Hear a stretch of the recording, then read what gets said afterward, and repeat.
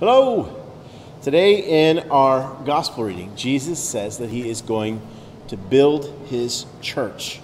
And then in the epistle reading, Paul talks about how we, as members of the church, are built up together. And so we know that Christ is building something that he says is going to last into eternity because he gives us eternal life. And I was thinking about different things that we can build with. And, you know, one of our favorite things to build with are Lego blocks, right? And so you've got all the different shapes and sizes, and you can put them together and you can build something. But the problem with something with Legos is that if you drop it, it falls apart. And it's not really the kind of thing you would build a house that you would live in with. You can build something to play with. They're meant to be taken apart, right? They're meant so you could build different things.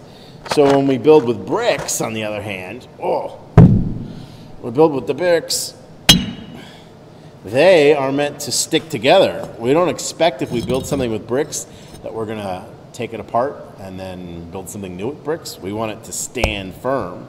And so if we push against the bricks, they're, they're not moving. If you uh, look at your house outside and there are bricks on it and you try to move the bricks, they are steady. There are other things that we can try and build with, like a piece of paper.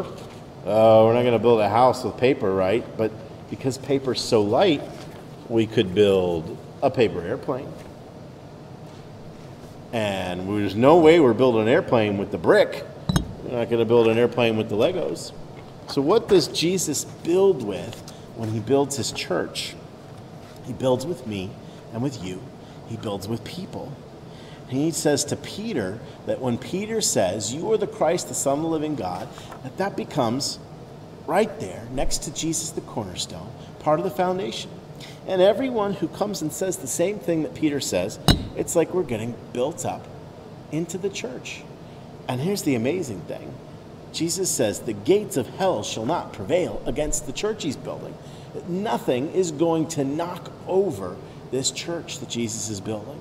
When we confess that he is our Savior, our Lord, and God, when we are built into the church, we don't get knocked out of that church we stay in with God's people.